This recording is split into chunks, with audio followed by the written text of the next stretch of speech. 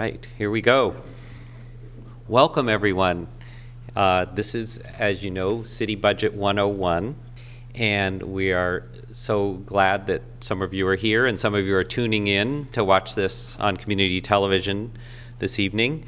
Uh, I just want, as a by way of introduction, uh, I just wanted to kind of set the context a little bit. As you know, the city government has kind of, I mean, there's a way you could break it down a lot of different ways, but I see it, that city government has two primary roles. One is we regulate some things. We have city ordinances, city laws. We regulate through the zoning and planning documents the physical development of the city. But then the other thing we do is we have activities and projects we do. And that's really what we want to talk about tonight. That's what the decisions about the city budget really reflect is what activities and projects will the city be undertaking over the next year.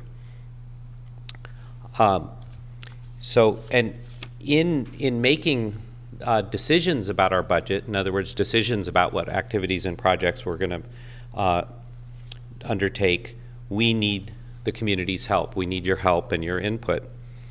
And it's our thought in having this class tonight that you all as community members will be better prepared to offer that input if you have a good understanding of the budget process, um, just what our budget looks like, and sort of the legal environment that the city operates in as it makes budget decisions. So in a more specific way, here's what we're hoping you'll know by the end of our session tonight. Um, first, what the city does um, day in and day out. What it, in other words, what are, what are our responsibilities as a city government? Um, we hope you'll understand that we have a lot of different funds, uh, in other words, different pots of money, um, and what the rules are that regulate um, how we use the money within each of those funds. We hope you'll understand at the end of the evening um, the environment we operate in terms of the state state uh, budget crisis that has impacted our city budget for the last decade on a regular basis. How the and this also the environment the environment that we all think of as the limping economy of the state of California, which affects our budget, and also the state uh, constitution, which sets a lot of parameters about how the city can raise revenue. Um, we can't just the city council just can't raise taxes. Um, the state state government, uh, state law really uh, sets the parameters of what kind of revenue we will generate here in the city of Santa Cruz. And lastly, we hope you'll end up knowing what your opportunities are in the weeks ahead to participate in our budget decisions. So, with that, I am going to turn the microphone over to our City Finance Director, Marc Pimentel, and he is going to start in on one of those topics that I mentioned, the, uh, the those different funds, uh, pots of money that the city has to operate. Thanks, Marc. Um, by way of introduction, my name is Marc Pimentel. I'm the City of Santa Cruz's new Finance Director. Uh, just a little over two months here and really enjoying my time here. And I have to say, I have a, a, a plug for, for the City of Santa Cruz. Um, this was a no-brain decision to come here because of the organizational structure, because of the a commitment that the city, this organization, this council, this community has had to uh, keeping Santa Cruz in, in a very stable um, and functional position and always trying to look proactively at the future and what's coming. And so a little bit that we're going to be talking about that later on in this presentation tonight, that same theme. Um, my job tonight is to turn fund accounting into something interesting, which is a challenge in of itself. Um, but I'll, I'll, talk a little bit in generalities. Uh, as it, City of Santa Cruz, as any city does, um, receives money from different sources, and those sources are often confused of how it can be used within the organization. Um, by and large, as our slide talks about, there's some major, major operations that are funded through the City of Santa Cruz and, and like many other municipalities. Um, the big chunk of it, uh, where a lot of our discussions will revolve around, are, are issues revolving our general fund. Typically, you'll, you'll see a general fund only be about half sometimes less of your total city operations. For the city of Santa Cruz, it's just a little under half of our total operations. But it's where a lot of our discussion is focused because that's where a lot of the ma- major community decisions are coming from your public safety de- decisions, your parks and recreation, your community outreach decisions. Um, there's a lot of uh, flexibility in those funds to apply those in a way that meets the goals of the community as directed by the city council. Um, so that's where you'll see a lot of our energy focused. But we do have other funds and other major operations going on. Certainly within the city of Santa Cruz, our water fund, wastewater, and refuse funds are very active operations. However, those resources coming in typically through uh, fees, um, through your rates that rate, utility ra- rates uh, users will pay, is restricted for only that purpose. Water funds can only be used for water purposes. You can't take water money and use it for another purpose, uh, fund police officers or anything like that type. Um, same with stormwater funds, golf course special revenue funds, and what we used to call a redevelopment fund, and we'll have a little segment about that. Of course, earlier this uh, calendar year, redevelopment agencies were eliminated throughout the state of California, which has ripple effects, uh, not only on the communities and projects, but also on funding streams going to the future. Um, but in a general sense, our general fund is where most of our major decisions are, are going to be made, and the other funds are critical, important pieces of our operations, but they're really restricted in what you can and how you can use them. Um, because of that, I'm going to talk focused on our general fund from a revenue perspective. So once the resources flow into our general fund, what type of resources would flow in to fund those operations? And if you're looking at this pie chart, you can see there's three major components of that. And if you, you did a little quick math, it's close to 75% of our general fund resources come from property tax, sales tax, and uh, utility users tax. Um, so those are our major components, and those from a financial perspective and from a city council community perspective, those are places where we want to pay particular close attention to the impacts of the economic impacts and where and how they're driving the trend lines and, and where they're going on that. If you have fluctuations in the franchise tax or admission tax or business license taxes, those fluctuations won't be as critical as, say, a fluctuation of 2% fluctuation on property tax or sales tax or utility users tax. So you'll see a lot of our energy be spent in, in those revenue sources and make sure we really understand what's happening in those and being able to predict the future on those sources. In general, there's a, a collection of uh, different taxes that fund our general fund operations. Again, property tax, sales tax, and utility tax are the big players in that. Uh, but we have some other folks that participate. Um, revenue from parking lot taxes, uh, hotel bed tax, also count, called transient occupancy tax. Um, those are pretty good revenue sources for the city. Um, our hotel tax is about 7% of our total budget, so um, that is a particularly one that we'll pay additional attention to. Um, admission tax, uh, that can reach about 4% of our budgeted revenue, so that's also one we want to pay particular attention to. Um, but those are kind of the bulk resources of funding flowing into the city, and in particular, the general fund. Again, that funds our core operations uh, in public safety, police, fire, parks and recreation, and many of our other administrative services that we'll talk about a little bit later. I wanted to spend a little bit of time just talking about those particular major revenue line items and where they've been and where they're going. And uh, if I had a, a pointer, you, we can all look into a point in time in 2008 when, the, when this Great Recession started, and you'll see the impacts of that recession, and it'll have different effects on, depending on the revenue streams. Uh, property tax is typically a lagged revenue where you'll, you'll see the real economy impacts be about a year and a half in decline. And in this example, um, in fiscal year 2008, when the recession you know, was on point, hitting some major steam going downwards, we still had some growth in property tax the next year, 2009. There was a little bit of lag in that and it wasn't until 10 and 11 that you saw some declines. Fortunately for the city of Santa Cruz, the declines here don't really equate to some of the declines that you might have seen throughout the rest of the state, and certainly in the Central Valley. Um, so we were fortunate in this community that property values, by and large, um, have held up, and you haven't seen the major devastating declines that you would have seen with the other jurisdictions. Uh, jumping into sales tax, uh, sales tax is a more responsive revenue source. Uh, you can see in 2008 we had a peak revenue, and then right away in 2009, as the economy was hitting, we saw sales tax hit right away. A major decline in 2009 and another decline in 2010, and that's very typical of a sales tax trend. You'll see you'll see the impacts of the economy hit that one um, quite a bit faster than, than you would see otherwise. Um, and what this chart is, is showing you is total sales tax over our base sales tax and an add-on sales tax. And there's often confusion over the eight and a quarter or eight and a half percent sales tax that the city of Santa Cruz uh, consumers will pay. Um, out of that, one and a half percent of that is dedicated to the city of Santa Cruz. Um, the rest of that goes to other jurisdictions. The biggest chunk of that five and a half percent uh, flows directly to the state for their general fund. So sales tax is a major funding source for the state of California. Um, but just keep in mind, uh, about one and a half percent, one and a half of the points of the eight and a half percent will flow into the city of Santa Cruz. Five and a half goes to the state, and then there's some special carve-offs for certainly in this county. The library gets a, a quarter of that. Um, county transportation and the transit district get about three quarters of that, and then there's a public safety allocation to fund public safety services, particularly for the county. Um, that's about a half a percent of that. Um, but just want to talk a little bit about, again, the trends in the fact that we are starting to see some gains going into 2013. Um, we've been relatively flat the last several years, but we're starting to see a couple quarters of positive growth.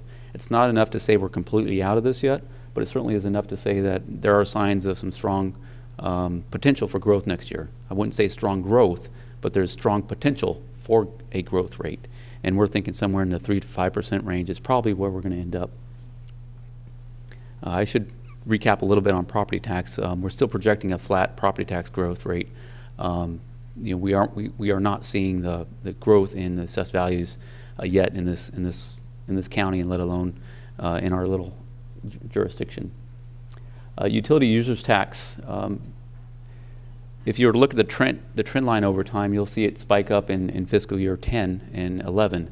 And a large chunk of that wasn't necessarily anything driven by the economy because in 2008, it, it, had its peak at that time, had a little bit of delay for 2009, and a drop in 2000, um, uh, a little bit of a drop in 10, but a big pickup in 2011, and that came out of a, a voter initiative in the city of Santa Cruz to help fund public safety services. So there was Measure H uh, that was passed by the voters in 2010 that went online in calendar 2011 that brought some additional resources into the city to help stabilize the city's resources to avoid um, drastic cuts in, in some of our police and, and other key services and fire and parks and recreation.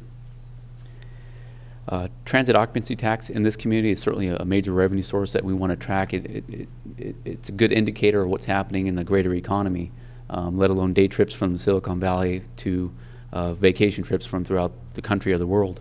Um, we've seen pretty good stable growth. You know, this is a revenue trend that typically wasn't devastated uh, by the economy. If you roll back the clock to 2001, you would see the 9/11 impact, but not necessarily the the Great Recession impact. Didn't have a major hit on this particular line, and a lot of that might have came out of uh, Silicon Valley. The day trips were still coming this way. There might have been a drop off in major travel, but the day trips were still coming to our boardwalk and our other amenities in this area. Um, and it has been a steady growth in the last couple of years. Um, we're projecting uh, marginal gains uh, next year, but relatively flat. Um, there is some positive indicators there with some potential new properties coming online, and we're going to be watching those construction timetables and uh, counting on some new resources um, probably late into this fis next fiscal year and certainly into our out year. Uh, that being said, I'll kind of, yes?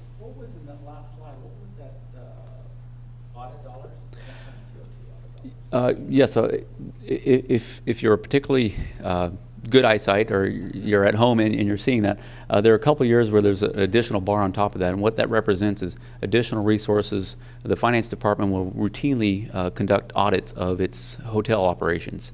And sometimes those audits are validated, meaning their operations are relatively uh, on check. And there are times when we find there are discrepancies that, that we're due additional money. So what that represents are additional collections as a result of audits initiated by finance department staff.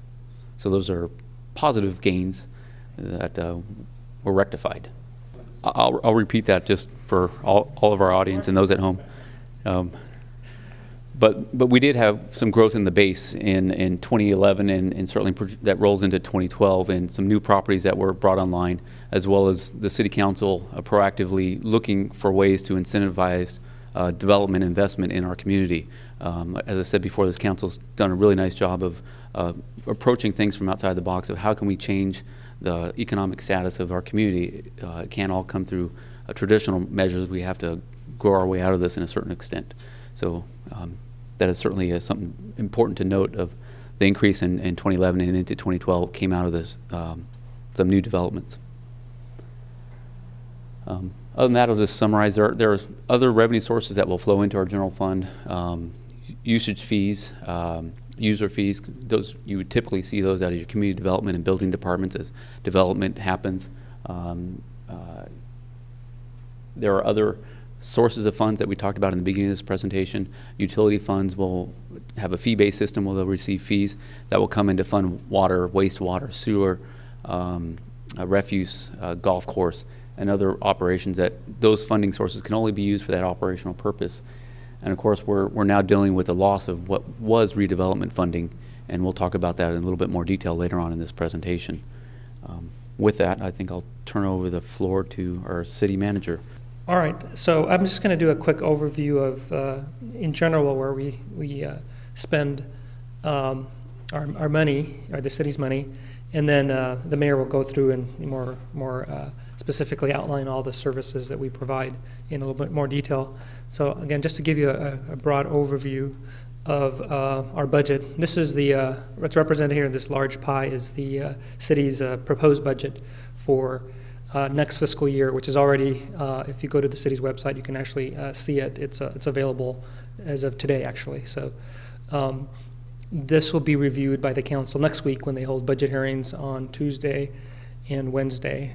So there's another opportunity to inform yourself about the, the budget in any case. And we're going to talk about that a little bit more a little later on.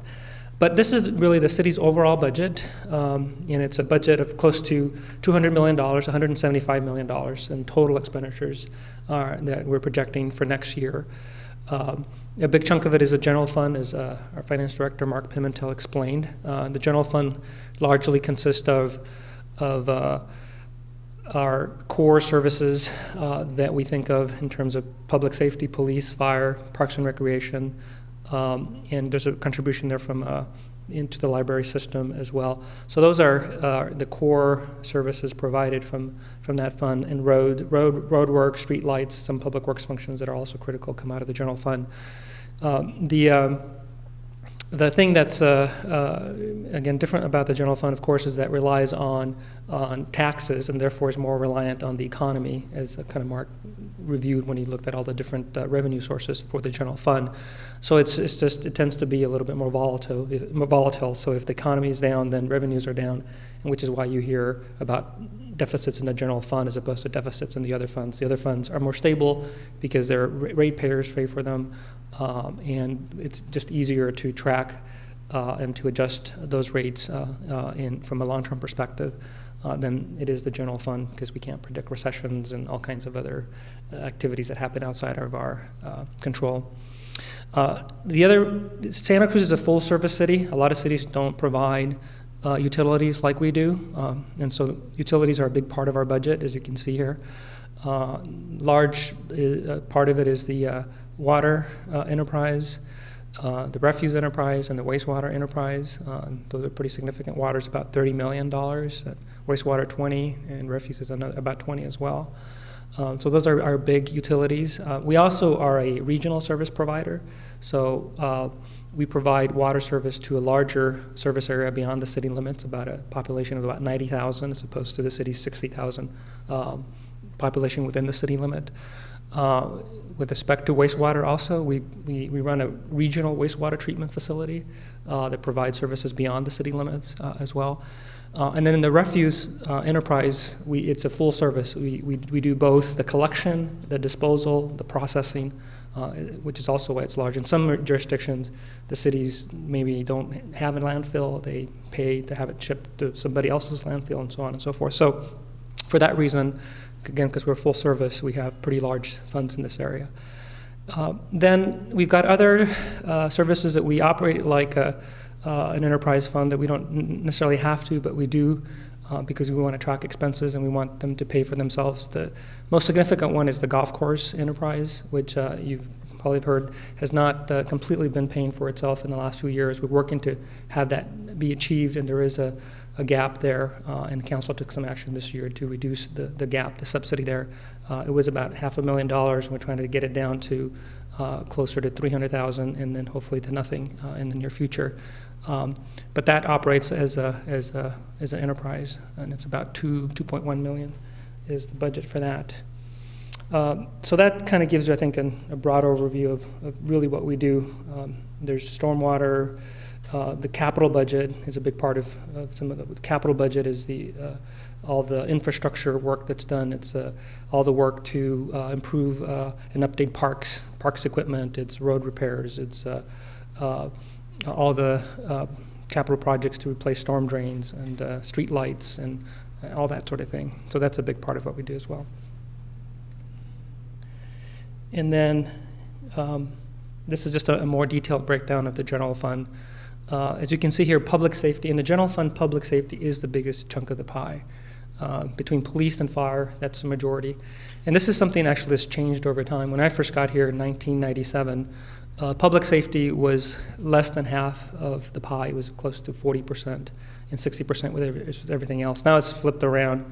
Public safety is uh, uh, over 60% uh, of the general fund currently, and everything else is, is less than that. So, as you can see, the biggest chunks are police, fire, parks and recreation, and public works. And the reason for that is, as we've had to reduce the budget, uh, clearly uh, it's been harder to reduce public safety uh, because that's a, a, a pretty core uh, needed service, and we've had to make reductions uh, in other areas. Particularly, Parks and Rec has been hit hard. You know, we closed the the, uh, the Harvey West Pool. Uh, we've reduced maintenance costs. We've uh, had to uh, uh, turn over operations of a museum, a community center, those sorts of things. So, unfortunately, Parks and Recreation has been disproportionately hit with reductions over the years. Um, we also fund community programs. And, it's a small, very small portion of the budget here, relatively 1.25 million, but we do do that and then the others are the administrative departments, which are fairly small.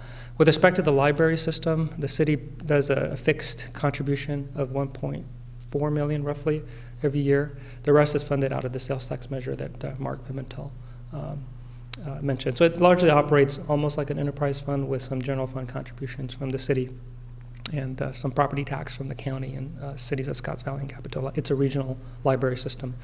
Uh, we operate it, uh, but it serves uh, the uh, county, except for Watsonville. So that's kind of an overview, and I'll turn it over to the mayor, Don Lane, who kind of actually walk through some of the more details of the different programs. Thank you, Martin. Uh, so now, as I was saying a moment ago, this just what I find um, is really important to recognize kind of the scope and and range of services and activities the city budget funds. And here's probably the most obvious one, our uh, police department. And it, uh, it as, as was noted earlier, it's almost 40%, I believe, of our general fund budget at this point. And then right behind that, um, equally important, um, our public, our fire service and um, and related to that, our emergency services um, including the 911 center, which um, we make a substantial, the city of Santa Cruz makes a substantial contribution to operate. And then, of course, we have miles and miles of streets um, throughout the community, and we're, it's our responsibility to maintain those streets. Uh, we have a um, ongoing program funded by um, one of our two Measure H ballot measures that the city mem uh, community members have approved over the last several years, and we have an ongoing program to resurface streets. Um, and then there are not just resurfacing projects, but specific um, improvements, such as the one pictured here, the new roundabout um, down in the beach area. But we do, you know, all the different kinds of traffic improvements that people see. Of course, we pick up all the refuse, whether it's recyclable or not. Um, and then this, what is recyclable, there's a whole uh, facility at the at our uh, what we used to just refer to as the landfill, but now is in fact a recycling center as well as landfill, and it's a very comprehensive operation there. Um, and then we do operate a landfill for that the materials that can't be recycled. We also have a maintain a whole stormwater um, drainage system to um, minimize flooding um, during the rainy season. We maintain, uh, we keep clean streets and sidewalks as much as possible with limited resources. Um, we have a whole parking system, especially in the downtown area, but in other parts of the community as well. Uh, it's a very complex operation in terms of uh, maintaining parking lots, building parking lots, and doing enforcement. We treat all the wastewater not only for all the city residents, but probably more than half the residents of Santa Cruz County at our wastewater treatment facility. Um, and then we not only, and then we have all the pipes all over town that uh, collect that material. And we have certain very targeted flood control projects we maintain, especially in the area of the San Lorenzo River. And then we have a traffic engineering uh, uh, department that just designs our streets um, when we make you know, improvements to streets just to make sure they function at the highest level possible. We maintain lights, uh, traffic signals, and signs all over town hundreds, thousands, tens of thousands of signs all over Santa Cruz.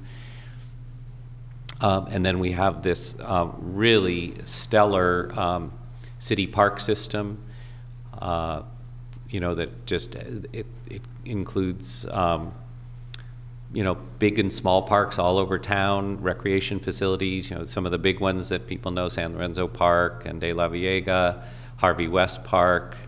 Um, and then we have smaller, you know, neighborhood parks like Garfield Park. And then we have our greenbelt lands, um, easily most well known, I think, is the Pogonip, but we, but we have Arana Gulch on the other side of town as well.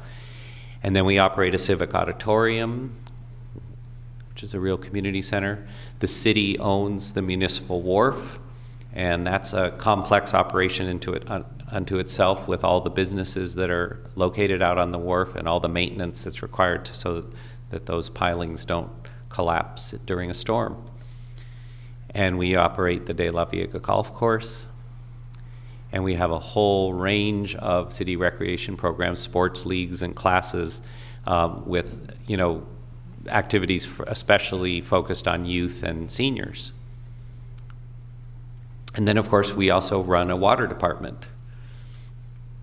And last but not least, the city council itself, we, we don't use much of the budget.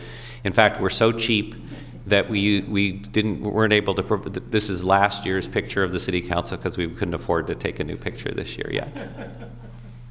Um, oh, this is a little more of parking, you know, new parking program we have that we really think has helped uh, make parking more convenient downtown. And then we have just all kinds of pretty much invisible to the community services that just make the city operate. You know, the city does get sued from time to time. We enter into a lot of contracts, so we have to have a good city attorney. We have 770 employees, so we have the um, you know a human resources department to hire and work with our staff an IT department because we have a lot of technology and computers and phones that need to be served um, to serve those that staff. We may, we are required to maintain excellent public records for everything we do. And we have a finance department that has to manage and keep an eye on that 160, or I think now this coming year, more like $175 million budget. And another piece we have, of course, that uh, many people are aware of is, is um, planning, and uh, we have we're just in the process of adopting a new general plan, uh, but there's many other functions in our planning department, just of uh, giving building permits and inspecting buildings, and uh, uh, just looking, you know, looking after the physical development of our community and and making sure that it's the community, physically the community we want it to be. Um, as I think I touched on this a little before, but um, we, we uh, maintain a very complex uh, water system that goes all the way, um, goes to, you know, to 41st Avenue, and um, it's, uh, we serve 90,000 customers, and we have, uh, you know, incredible array of treatment facilities, storage facilities, um, laboratories that test the water to make sure that it's, you know, it's healthy for, and safe for all of us It's a very complex, big operation. and they're including our reservoir at Loch Lomond. We also maintain the city's bike system, bike paths all over town. Um, a, what a piece of the budget that has been diminishing a fair amount lately, but is still important to the community, is our community programs funding that uh, funds a variety of nonprofit organizations that provide important community services. We contribute to the financing of the public library, and we uh, we also administer it. We, even though it's not a strictly a city function, it's countywide or almost countywide. Um, the staff of the library is are essentially employees of the city of Santa Cruz, even even those who are working in other parts of the community or the county. We have an economic development department that has been doing tremendous work under very difficult circumstances lately, um, and they, you know, help us recruit and and uh, sustain uh, businesses and a healthy local economy. They've done some great work on uh, incubating small businesses, uh, bringing the Marine Sanctuary Explor- Exploration Center to our community, doing a public art program.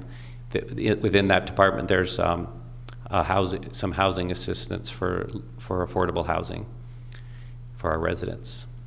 So, with that, we're going to go, I th- Martina is, I think, I think I covered this and then we'll jump to Martin. okay, so back to you, Marc. the roving roundtable of, of presentations. So uh, again, Marc Pimentel, City's Finance Director. And I'm going to talk a little bit of a, uh intro for before Martin, or Martin Bernal, our City Manager, comes up and talks a little bit more about uh, where we're going. Um, so I'll start with just kind of a, a recap. I'm, I'm kind of the historian, so my stuff's old, old boring stuff, and, and Martin will get to talk about the great new exciting stuff of where we're going.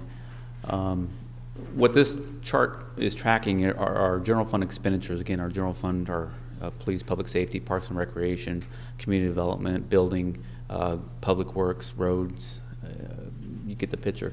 Um, 2008, the, the economy is, is, is not doing well. Um, but as you saw in some of our earlier slides, our revenue trends were still holding pace. We knew they, we knew they weren't sustainable. And so in 2008, the city started proactively looking for, okay, we got to prepare for this wave that we see coming. We, see the economy where it's at right now. Although our revenues, we think, are going to last out for another 12 to 18 months, uh, we can't wait for that time to come. Um, so in 2009, they started curtailing uh, some operations. Uh, Although there is some growth, it, it was not the growth that it would have been otherwise. And then you saw the major major drop off in our expenditures in 2010. Um, in 2011, we had a, you know, a marginal growth as we had uh, ability to fund fund back safety programs. Uh, federal grants came into the city of Santa Cruz as it did into many other municipalities for both road projects, uh, public projects, and to fund public safety, uh, specifically police and fire. We received about a million dollars in, in grants to fund those positions. So you see some recovery, although it's it's it's grant funded um, recovery in those in uh, from 2010 to 2011. 11 to 12 status quo budget, 12 to 13 essentially a, status quo budget with a little bit of, of growth um, in some of our operations, and again, notably in our public safety areas. Um, what I want to focus on is a comparison 2004, kind of pre pre cuts, and where we are at now. So uh, I'll have two pie charts that demonstrate that. This first chart is our 2004 allocation, and pay particular attention to Parks and Recreation and Police. So in 2004, City of Santa Cruz Parks and Recreation was nearly 20%, about a fifth of the general fund budget, 18.6%. Police was 38.2%. Uh, combined police and fire uh, were just just slightly under 60%, about 58% police and fire.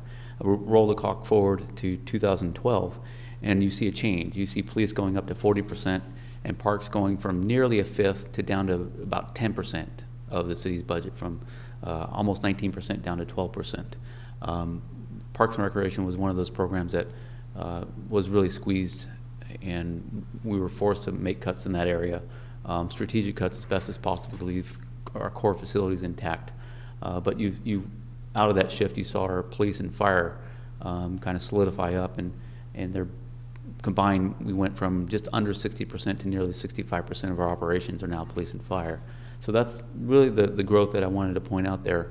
Our, our, our other services kind of stayed status quo with marginal changes, um, but really the, the hit came into our, our Parks and Recreation Department. Um, we'll review a little bit in these next several segments about what the state has done, and, I, and I, this is not a woe is us story, but it is just really demonstrating what changes have happened over the, the climate in the last 30 years to, that affects local municipalities and our ability. And what you'll see is the overriding theme is the shift of uh, state responsibility and, and control, pushing that down to a local level, um, leaving resources intact at the state level, and taking the local resources away from the local level. Um, and there are political reasons that we can get into on another discussion, certainly. Um, we'll talk about the economic downturns, uh, some of the changes that have happened in the economy, uh, both on, a lot of them on the personnel side. Of course, we're not a manufacturing entity, we're a service provider, and so predominantly our costs are personnel costs. And so when you have changes in healthcare and you have changes in pension systems, um, for whatever reason drove those costs, uh, those impact us and impact us hard. And so we'll talk a little bit about that. Um, 1978, roll back the clock a little bit for some of us. Uh, Proposition 13 came into play and really changed the landscape of how local municipality services were funded. It put a cap on what local cities could levy in property taxes uh, to a 2% growth rate that's now controlled at the county level and based on, on market values. Um, that changed the landscape of, of how municipalities were funded.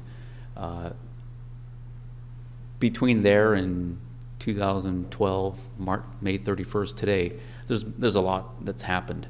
Uh, you can go almost every, every so many years. Um, the 80s were, were kind of a quiet period. There was a little stuff going on, but nothing significant in changing the landscape. Uh, 1992 was the first major ch change since 78. Um, ERAF 1 is what some of us have been known to call it. Uh, Education Revenue Augmentation Fund, all that means is shifting local dollars to back to, to, to schools to keep schools funded, which reduces the state's contribution to fund the schools. So local, local money shifted up to the state so the state can maintain schools at a, at a level um, that they needed. Uh, nothing wrong with the intent of that, but it, it, again, another change in the landscape of how municipalities were funded. Um, and, I'll, and I'll, i think I'll talk to that on the next slide. Um, sales tax, property tax shifts, those all started occurring in, in 92 up, in, up until February 1st of 2012. Uh, redevelopment revenue shifts, that was particular February 1st of 2012. Um, and then there's been some response and by the state voters to say, you know, this has been too much, too, too many years, three decades of taking local resources out of control given to the state where we have less control and say over the use of those resources. So 2004 was a change in the tide that helped at least solidify and slow down the, the I call it the raids, but the, the revenue shifts.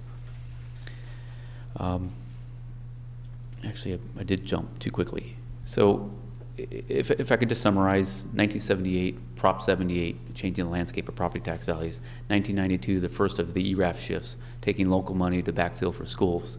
Uh, 1999, elimination of the car tax, which is a local revenue source by the state, that then was ultimately backfilled by the state to keep the local money intact. Um, 2004, rolling forward, many, many mechanisms, and the greatest name of all time, the triple flip. And and I, that could be a whole nother session in and of itself of the state maneuvering different revenue sources and our own city revenue sources so they can issue bonds, bonded debt, and for collateralization purposes. But it shifted around property tax and sales tax, and sales tax became property tax. VLF became property tax, and property tax, I'm not sure what that became. Um, 2005-6 ERAF number three came into place. Again, another another hit on local municipalities to fund the state so they can backfill for a school uh, keep the schools funded. Uh, 2008, 2009, 2010, 2011, sequential hits, major hits to our redevelopment, economic development opportunities. Um, there were one-time payments at different levels throughout each of those years, resulting in, in last year's 2011's budget that eliminated redevelopment agencies that went into effect this calendar year, February 1st of 2012. Our redevelopment agency, the source of our economic development funding, the source of our housing funding, are gone, and no replacement yet. Um, certainly the economy has also had a, had a, major impact on us. Um, the Great Recession's impacts are still being felt, and- and they're going to be felt for a long time. Fortunately, I think this community has a very diverse revenue base that we've talked about. Property tax is a major payer, also transient occupancy tax, visitors, sales tax, um, utility users tax. There are some major revenue sources that feed in from different locations and different purposes. So it's helped to stabilize the operations. Um, We've seen investment rates and earnings that in 1995, uh, a conservative portfolio rate of 5%, 4%, that was the target. That's what you shot for in the, in the mid 90s. Uh, now you're hoping for 0.75%. That's your new target. Uh, so that's really changed the landscape of you know, our investment portfolio that used to spin off um, additional resources that we can use general fund purposes. Uh, we're still leveraging that as best as we can, but now we're trying to get margins from 0.72 to 0.75 and maybe to 0.9. Um, so th- that, that's certainly an impact of the Great Recession that's being felt um, in the city of Santa Cruz. And certainly uh, health employment costs, health rates, health insurance rates, and public safety uh, and pension system rates have been going up year to year. Uh, the state is continually tinkering with the formulas that ultimately result in higher costs for municipalities like the city of Santa Cruz. There will be some new rates coming on board in, in 2013. Um, and I think I, as I'll often do, click ahead, jump ahead. So I covered PERS retirement, I covered healthcare costs. And with that, I'll, I'll turn the floor over to Martin to talk about where we're going and, and what we're doing about this. Thanks, Marc. Um, Before I do that, I just thought I'd touch on a little bit about uh, economic development and the impact uh, to the city. Um, Because as Marc mentioned, it was this year that uh, redevelopment agencies were eliminated. Uh, And the major impact there is that uh, a revenue source of approximately $6 million a year that was spent on economic development purposes is essentially gone. So that the city now will not have that level of funding to invest uh, in this particular purpose. Not, and it's not just economic development, but it's also housing.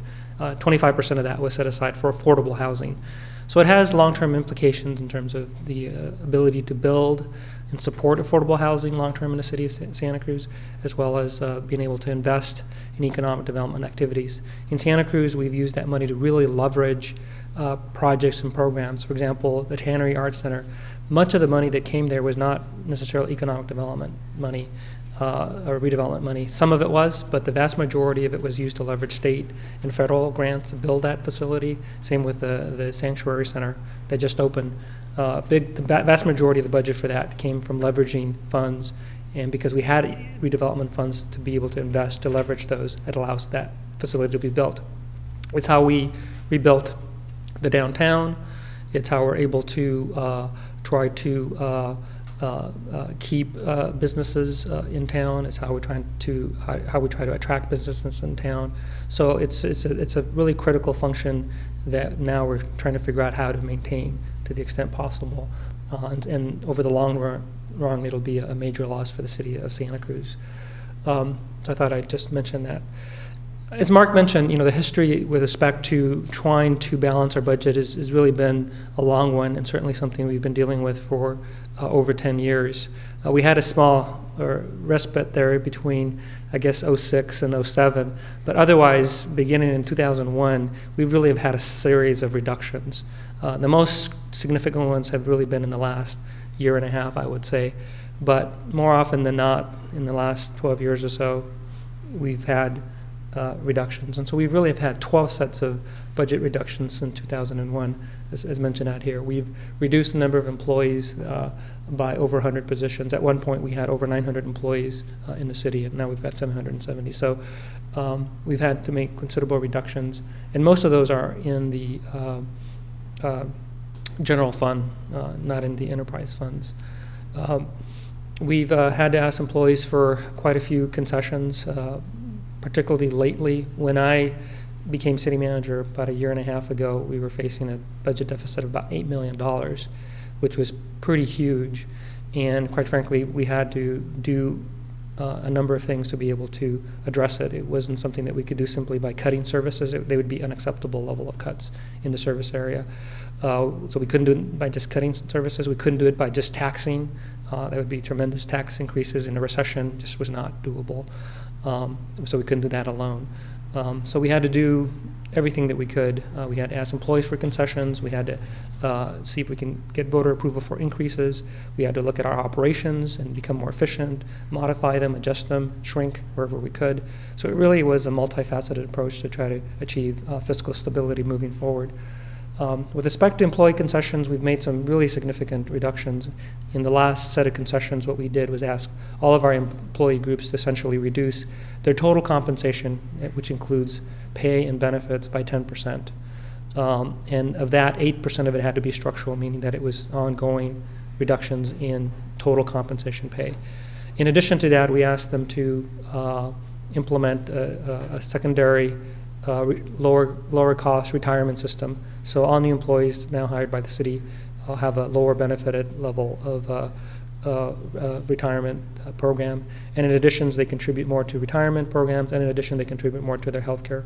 So, uh, uh, you know, we've, we simply have had, had to ask our employees to help us in trying to address the structural problem moving forward.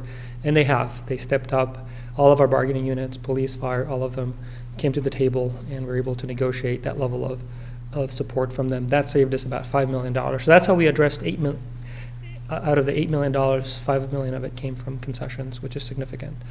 Um, we had some, we've had some tax increases over the years uh, to uh, also get us through in the form of sales taxes, in the- form of utility user tax more recently, again, to support uh, public safety in particular.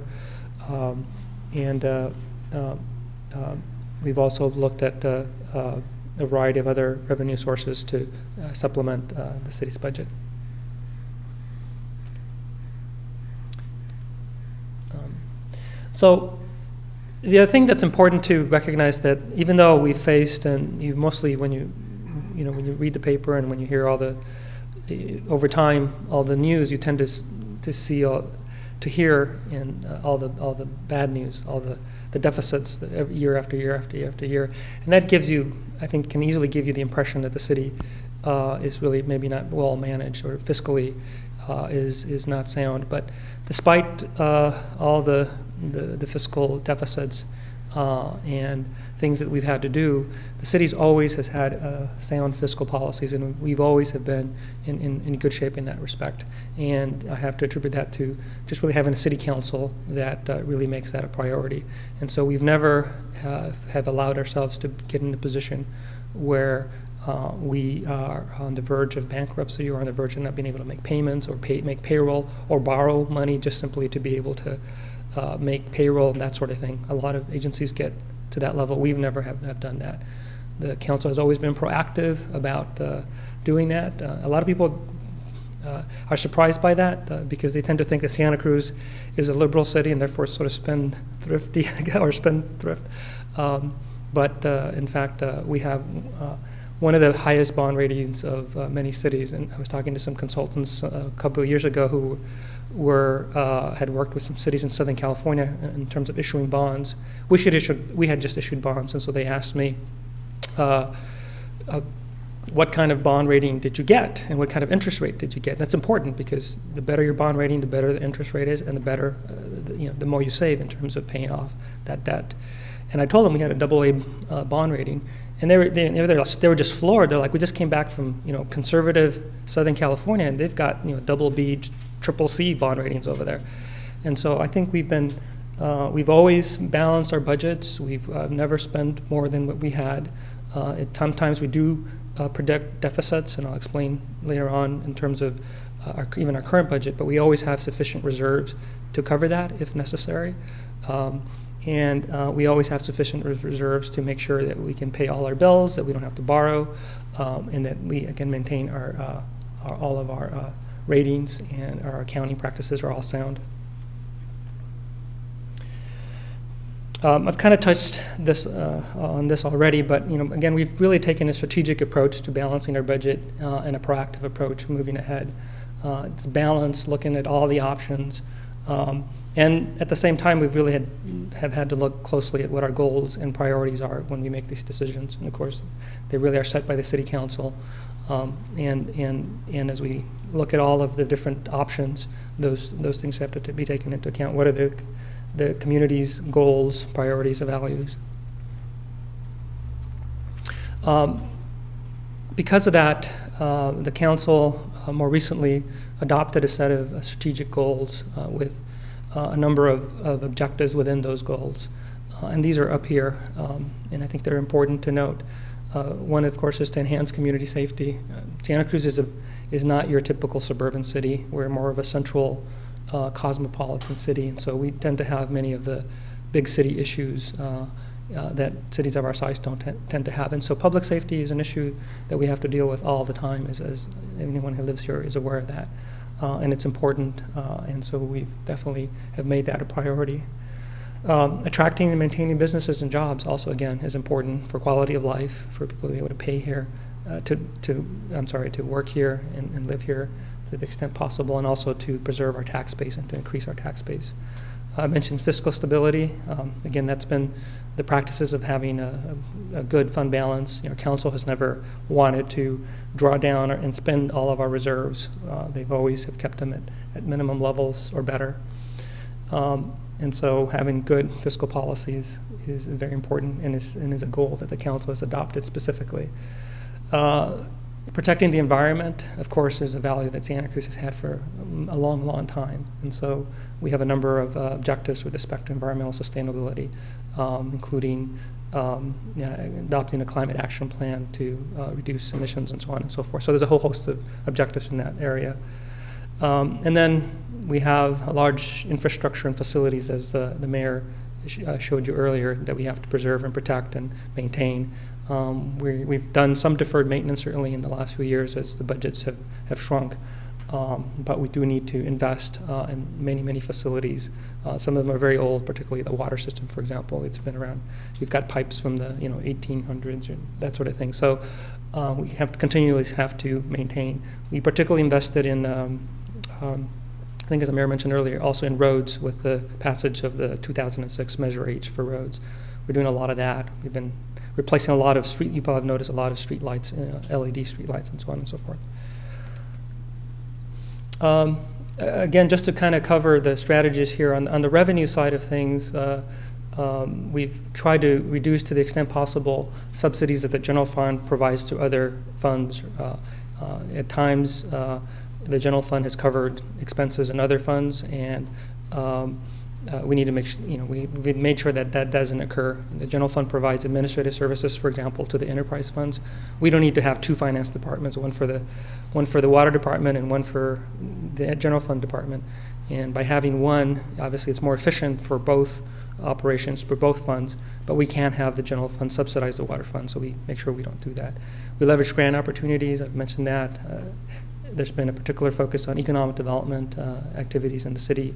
Uh, the council's approved quite a number of hotels, new hotels in the last few years. Some have come online, some we expect and hope to come online uh, in the near future. That'll help uh, our long-term long-term fiscal stability. Um, and I mentioned the utility user tax. On the expenditure side, um, again, we've really tried to be as efficient as possible through using technology uh, you know, we do a lot, a lot more with technology now. Uh, in one area in particular, for example, is uh, the uh, electronic records. Uh, yeah, and, and we used to have a lot of document clerks to file documents and to track them, and that's really technology has allowed us to, to really reduce paper. And now we have paperless agendas and so on and so forth. Uh, and there are other areas where technology has allowed us to not necessarily uh, shrink, but allow us not to need to grow as much. You know, we don't, for example, need as many garbage trucks because we have automated trucks now. We used to have more routes and more trucks uh, that are needed to collect uh, garbage and recycling. Um, we've had, you know, we definitely have had to make some service level reductions um, and uh, uh, delay replacement of equipment and you know, our computers aren't replaced as often as they used to be, our, our vehicles aren't replaced as much. Uh, we've delayed infrastructure improvements. And then I've already kind of covered the employee compensation reductions. Um, so just really briefly, I think I'm supposed to cover this. Yes, um, to discuss the budget process and uh, uh, give you a little uh, update on um, the uh, next year's budget.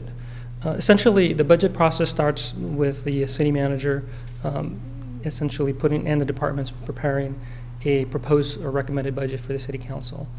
Um, and we really start that process uh, at, at, the beginning of the year. uh, when we start looking at uh, our revenues, our expenditures, our trends, uh, all the various factors that might affect the budget, and departments start putting together um, all the data, and then it really it's the finance department who takes the leads in putting it together, and the finance director.